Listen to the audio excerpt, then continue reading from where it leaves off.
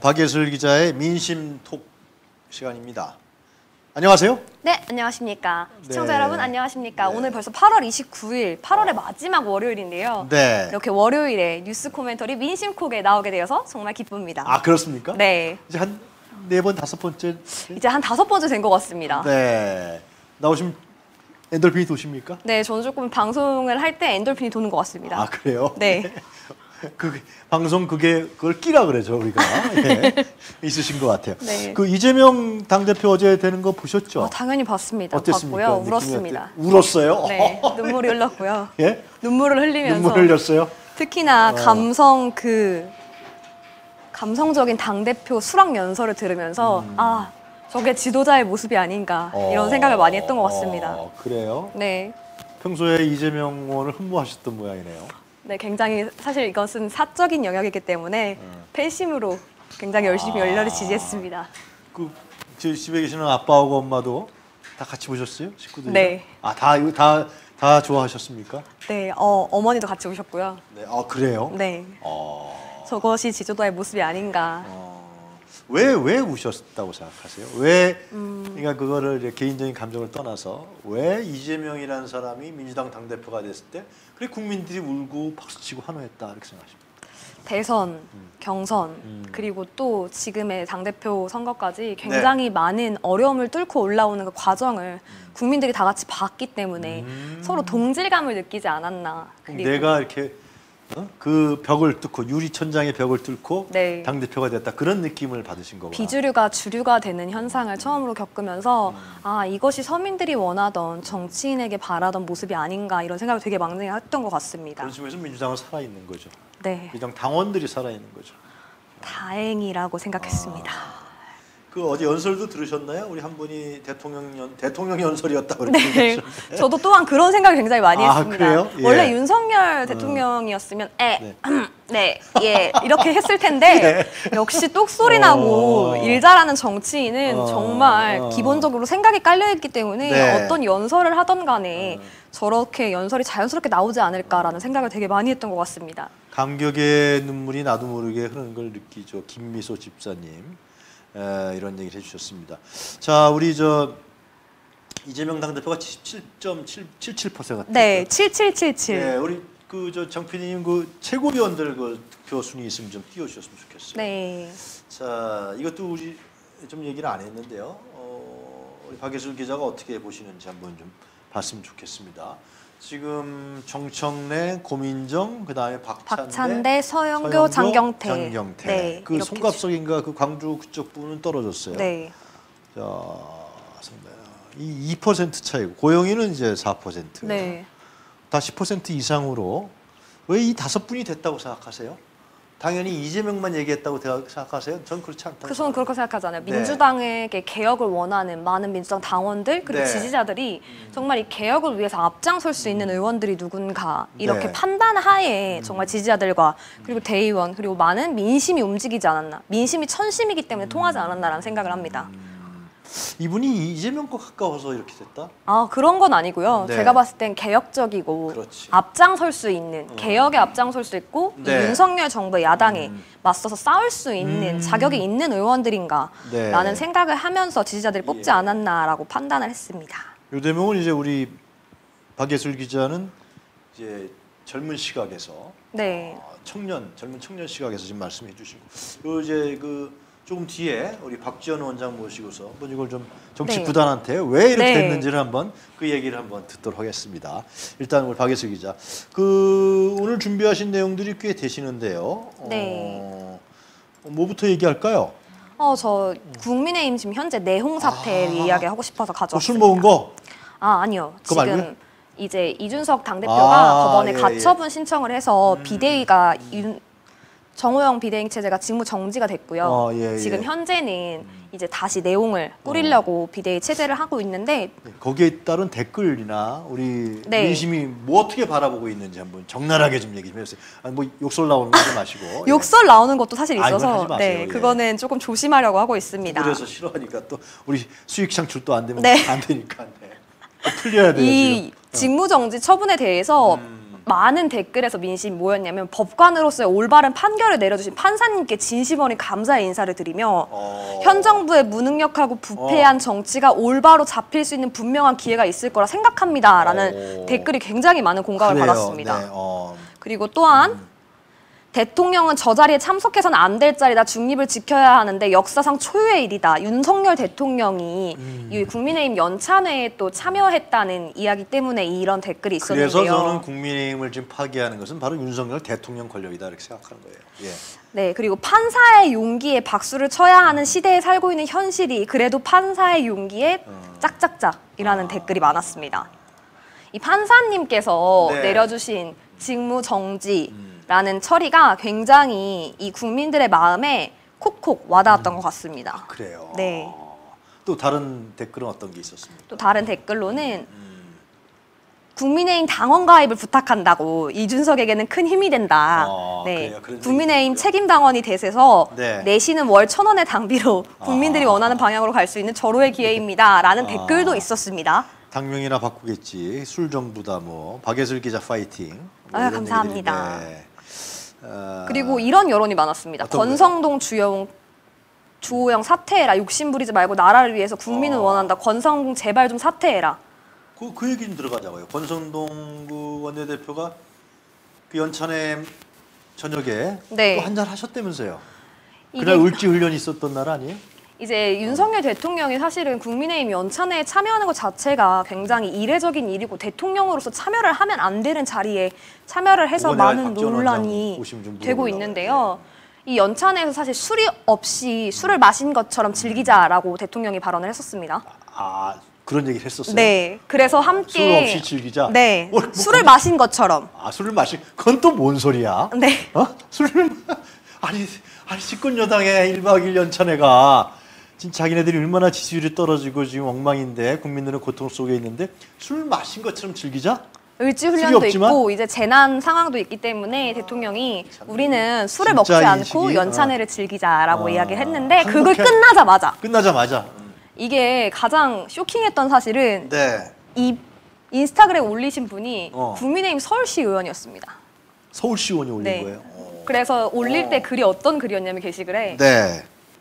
국민의힘은 망했다라는 글과 함께 이 영상을 올렸는데요. 아? 그래서 아, 굉장히 이큰 영상. 화제가 됐습니다. 어, 망했다라고 뭐 축배 들고 있네.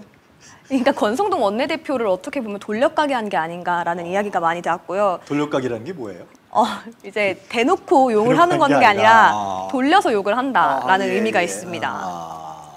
이 마이크에 맥주병에 마이크를 마이크라고 숟가락을 꽂고 여기서 노래를 부르는 영상이었는데요. 네. 이 자리에 참여한 분들이 기자라고 하세요. 이 기자들과 함께 연찬회 후에 이렇게 모여서 음. 권성동 원내대표 얼굴이 저렇게 빨갛게 취한 모습 보이시나요? 지금 을지훈련 중이죠 지금. 네. 근데 집권당의 원내대표나 사람이 어? 비대위원이라는 사람. 네. 앞으로 직무대행 같은 네. 또 맡게 될 텐데. 여기서 문제가 되는 가장 큰 부분은 네. 여기 앉아 계신 분들이 여기자분들이 많았다는 겁니다. 아 다 여기자들이에요. 아, 다는 아니었지만 대부분이 여기자분들이 많았다는 사실과 이 기자들과 여당의 원내대표가 대통령이 참여한 연찬회에서 술 없는 연찬회다라는 발언이 끝나자마자 권성동 원내대표 따로국밥처럼 대통령 말을 무시하는 것처럼 이렇게 사적인 자리로 만나서 따로 기자들과 술자리를 갖고 저렇게 행동하는 게 아니, 과연 요즘은 술 좋아하는 걸 아니까 내가 술 먹어도 상관없다고. 이제 기자들하고 먹은 거지. 예. 기자 어르신들하고. 네. 어? 자. 그래서 많은 논란을 낳았는데요. 네. 그래서 여기에 관련된 댓글이 굉장히 웃긴 게 아, 그거 좀 많았습니다. 더 불러주세요. 네. 권성동 잘한다. 성동이 최고 라이징 스타네. 어. 조금만 더 성동이가 국힘에 있어준다면 당 해체 가능하겠다. 아 그래요? 네. 이런 그리고요. 의견이 많았고요. 예. 예. 그리고 역시 권성동 nice. 이대로 어. 권성동이 국민의힘 해체 가나요? 어. 라는 의견이 많았습니다. 네. 그리고 국힘당과 기자들의 이해관계가 어떤 건지 여실히 보여주네요. 어. 그야말로 자유당 시절의 말로를 보는 느낌이다. 어. 다 반드시 뿌린 대로 거둘 것이다. 이런 댓글도 많았고요. 뿌린 대로 거둘 것이다. 아, 그렇군요. 네. 그리고 기자들하고 원래 사이가 좋은가 보다. 음. 회식 자리에서 노래도 불러주고 좋다고 환호도 해주고 우리는 한 팀이야. 둘 다 빠르게 가자. 그 유승용 대통령이 언론사 좀 많이 도와줍시오 그랬잖아요. 음? 네, 그런 걸 여실히 보여주는 장면이 아니었나라는 생각을 하고 있습니다. 근데 왜 그게 집권당의 원내대표가 말이죠? 연찬에 그날 연찬에 일박 하는 날 아니에요? 첫날이죠. 네, 그럼. 들어가서 뭐 조별 토론도 하고 막 그래야 되는 거 아니에요? 어? 이래서 따로 국밥이 아닌가. 아니 근데 왜 기자들하고 그 술을 먹으면서 말이죠? 어? 건배를 들고 이런 사례가 있습니까? 도대체 왜 그러는 거예요? 제 생각에는 술을 먹지 않으면 음. 네. 하루도 견딜 수 없지 않을까. 그래요? 네, 정말 술민의 힘. 아, 이거 워낙 국정에 이 시달리다 보시, 네. 보시니까 아, 술, 술민의힘? 네. 아, 국민의힘이 아니라 술민의 힘. 아, 그런 게 채팅방에 나와요? 아 아니요, 이것은 제가 방금 생각한 건데요. 기자가 아, 네, 술민의힘이라고 어, 술민의 힘. 음, 술민의힘. 술과 함께 가는 민심. 술로 가는 민심. 아, 진짜 참 어이가 없어서 제가 이거 참좀 어? 알코올 희화화시키고 네. 있습니다만은 참 이런 일이 있었냐라는 생각이 들 정도예요. 어? 네. 음, 정말 그리고 나서 또 국민의힘의 지금 네. 음. 현재 직무 정지, 주호영 비대위 체제가 파기되고 나서 네. 이제 앞으로 국민의힘이 얼마나 혼돈의 카오스가 음. 될 것이며 아비규환이다 정말 여당은 여당이 민생에 관심이 있었으면 이렇게 음. 대통령까지 나서서 여당의 행사에 참여하지 않았을 텐데 도대체 여당이라는 것이 어떤 역할을 하는 것이냐라는 네. 의견이 굉장히 많이 지배적이었습니다. 그래요.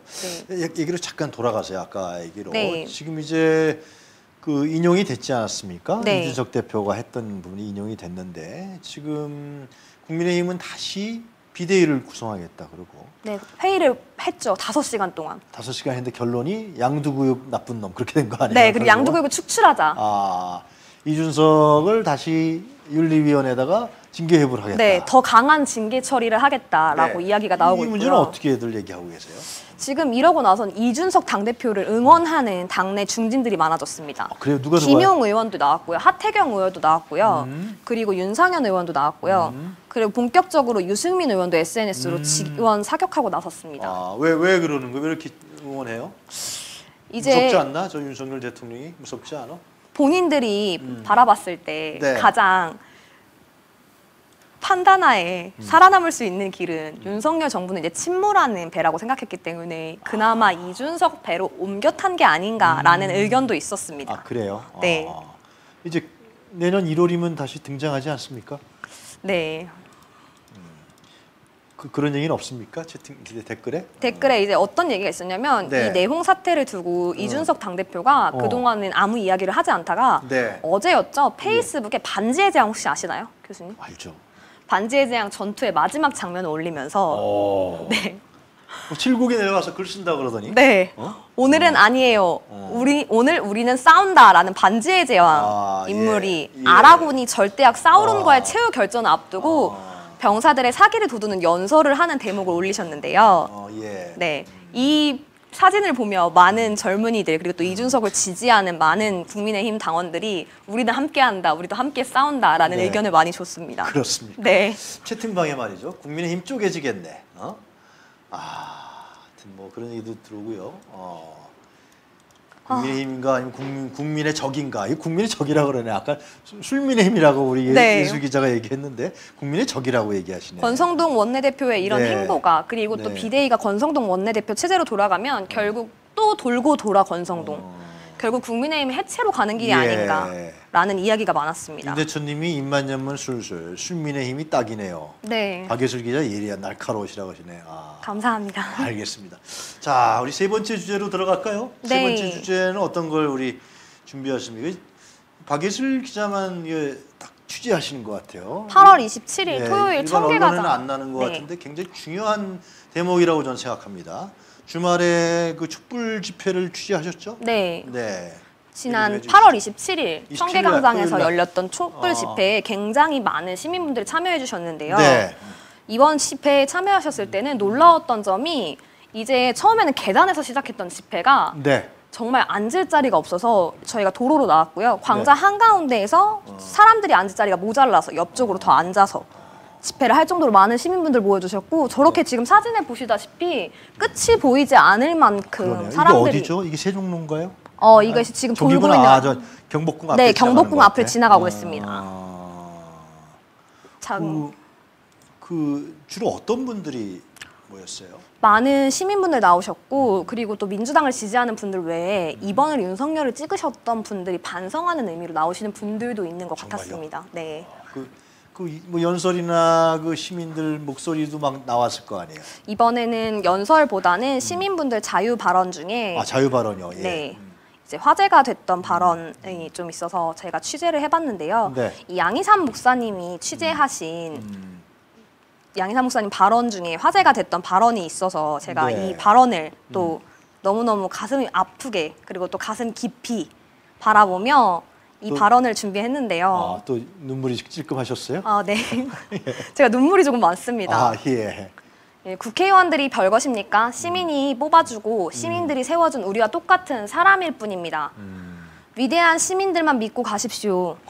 당신들이 우리를 선택한다면 우리 역시 당신들을 끝까지 신뢰하고 지지할 것입니다.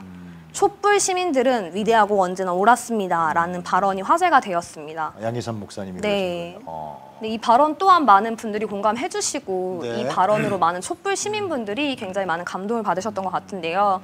국회의원분들이 별거 있나요? 결국에는 시민들이 뽑아주고 시민들이 대리로 세워준 자리일 뿐인데 그 자리가 어느 순간부터 특권 의식으로 가득 차서 본인들만을 위한 정치를 하는 것인데 당신들이 우리를 선택한다면 우리들도 당신들을 끝까지 믿고 지지한다고 해주신 그 발언이 많은 공감을 얻고 많은 시민분들의 마음을 울렸던 것 같습니다.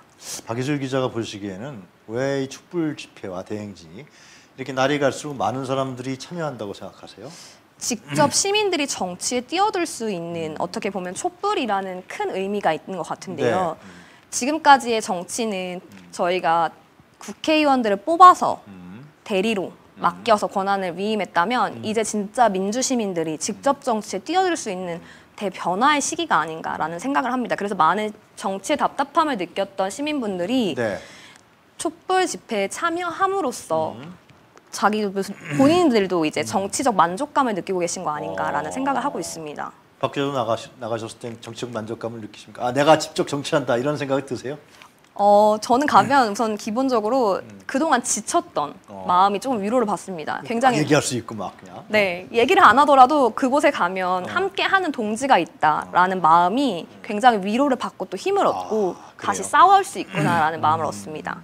주변의 시민분들 반응은 어때요? 저- 계속해서 지금 네 번째 다섯 번째 집회 계속 보셨죠? 예. 네, 굉장히 신기한 건 걸어갈 때마다 음. 사람들이 점점 점점 행진에 늘어납니다.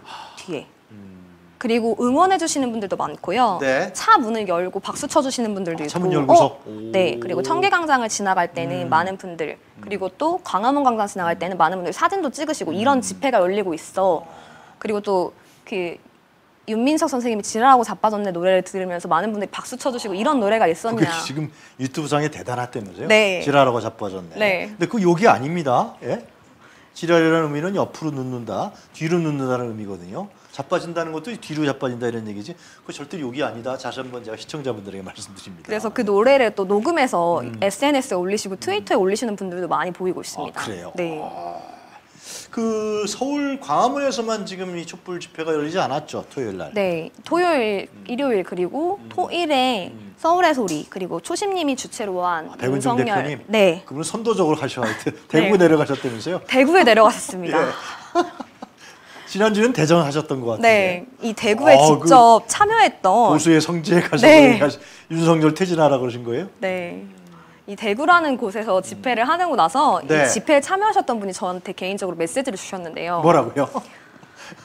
깨시민 분들도 많으셨으나 어. 심각성을 인지하는 못, 못하는 사람들이 많았습니다. 네. 특히 젊은 층들은 무관심해 보이는 네. 것이 답답했으나 이는 언론들이 제 역할을 하지 않았던 것이 한몫을 하여서 그런 것 같습니다. 어. 한분한분 목소리를 내고 알리는 활동으로 시민 각각 1인이 언론으로서의 역할도 하고 있다는 부분도 느꼈고 네. 지속적으로 참여하며 어. 더욱더 음. 이런 대구 같은 험지에서 더욱더 많은 시민분들이 함께 참여해 주시면 어떨까라는 의견이 많았습니다. 그 가서 그 윤석열 퇴진 구호를 외치는데 김건희 특검하라는 구호를 외치는 대구 시민들이 막 뭐라 그러지 않았나요? 욕하시는 분들도 계셨다고 합니다. 아? 실제적으로 가시면서 어. 욕을 하시는 분들도 계셨고요. 어. 그리고 진짜 시비를 걸면서 싸움을 거시는 분들도 계셨다고 합니다. 그러나 또 박수 치는 분도 있지 않았었어요? 그러나 또 참여하신 분들이 한 40분, 50분 정도 되시는데요. 어. 사진 보시면 네, 사진 대구 동성로에서. 행진하신 네. 모습 볼 수 있는데요. 아 사진이 준비가 아, 안된 네. 모양인데 박예슬 기자의 감으로 얘기를 하시죠. 네. 예. 이 극우의 방해도 많고 서울과는 다르게 인원이 굉장히 적었지만 이 음. 그러나 적은 인원으로서 그리고 용기를 내서 참여했다는 것에 대구 집회를 참여하신 분이 그런 얘기 하셨습니다. 어느 집회도 난 이제 참여할 수 있다. 아, 어, 그 어떤 집회도 참여할 수 있다. 나는 모든 집회에 참여할 수 있다. 이제 대구 집회를 한번 참여하고 나니 음. 네. 모든 집회를 참여할 수 있다라고 말씀을 해주셨습니다. 그러나 여론조사의 윤석열 대통령 지지율을 우리가 갤럽이라든가 봤을 때 에, 50% 이상이 부정평가를 낸 경우도 있지 않았었어요? 네. 최근에 그게 50에서 40% 왔다 갔다 하고 있지만 네. 네. 어, 그런 걸 봤을 때는 아마 에, 가서 그 집회를 했을 때 마음속으로 응원하시는 분들도 상당히 많, 많지 않았을까. 네, 왜냐하면 근데 퇴진할 때 퇴진 그래 퇴진 좀 고민해 봐야지 네, 뭐 이런 것 아직까지. 그러신 분들이 많으실 아, 것. 퇴진해야 되는 거 아니야? 네. 글쎄 좀 이따 해야 돼? 뭐 그렇게 생각하실 수가 있을 것 같아요. 그리고 또 특히나 대군 처음에 요즘 네. 최근에 서문시장에 윤석열 대통령이 방문을 했었기 때문에 아, 이그 대구의 전날 민심이 방문했었지? 약간 흔들흔들했던 것 같습니다. 아 그렇군요.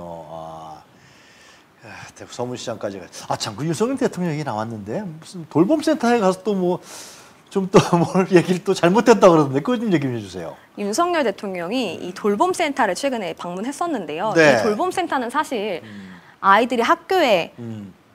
취업 취학 아동이 방과 후에 방과 후 애프터죠. 돌봄센터로 가는 건데요. 그렇죠, 예. 이런 아이들이 얼른 학교에 들어가서 교육을 받아야 되는데라는 네. 발언이 또한 화제가 됐었습니다. 어, 기본적으로 돌봄 센터라는 개념 자체도 없이 그냥 뭐라고 보여주기식으로 방문한 게 아닌가. 뭐라고 얘기했는데 그게 중요하죠.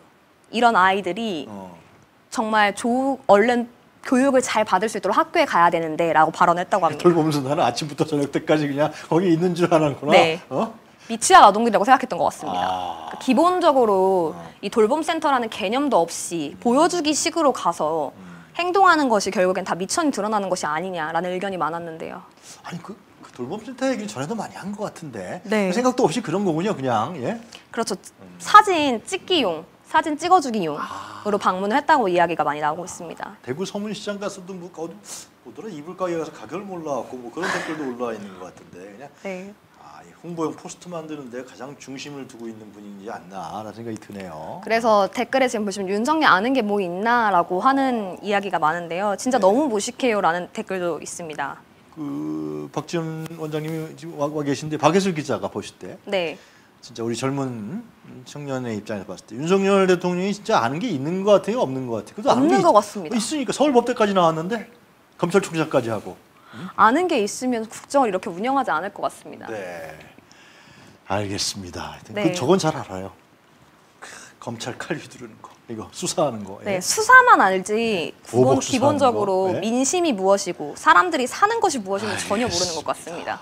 예, 오늘 어, 그 촛불 집회 취재하시느라고 고생 많이 하셨고요. 매주 해주실 거죠? 네, 매주 예, 해드리겠습니다. 굉장히 중요한 이 취재인데 이 보도들이 제대로 안 되어 있어갖고 이 민심의 흐름, 바닥 민심이 어떻게 변하고 있는지, 네. 또 대구 집회 갔을 때 반응이 어땠는지 이런 부분들을 전달해 주셔서 아마 우리 시청자분들이 이제 좋아하시지 않았을까. 또 다음 주 월요일을 기다리지 않을까 그런 생각이 듭니다. 네, 많은 시청자 여러분 민심 콕 기다려 주시고 또 많은 시청자 여러분의 마음 그리고 민심을 담아서 네. 시청자 여러분께 전해드리는 시간이 되도록 노력하겠습니다. 아 감사합니다. 오늘 수고하셨습니다. 네, 감사합니다. 네. 우리 저 다음 순서는 박지원 전 원장님 모시고서 정치구단 박지원 전 원장에게 듣는다 시작하도록 하겠습니다. 조심 백은종 그 투쟁의 기록 개벽이 출간되었습니다. 윤석열의 등장을 예언한 채 개벽 검찰 공화국을 막아라 무소불위의 검찰을 그동안 아무도 건드리지 못했다. 검찰을 손볼 세력이 어디에도 없었기 때문이다. 하지만 뛰는 검찰에 나는 국민이 있다. 전두환 군부 독재와 이명박근혜 정권마저 붕괴시킨 촛불 시민들이 그따위 검찰 출신 나부랭이들의 복고에 굴하겠는가? 위기의 대한민국 윤석열 검찰공화국에 맞서 싸울 촛불 시민들의 투쟁의 지침서 조심 백은종 국가와 민족을 위한 그 투쟁의 기록 개벽 여러분의 지지와 성원을 기다립니다. 감사합니다.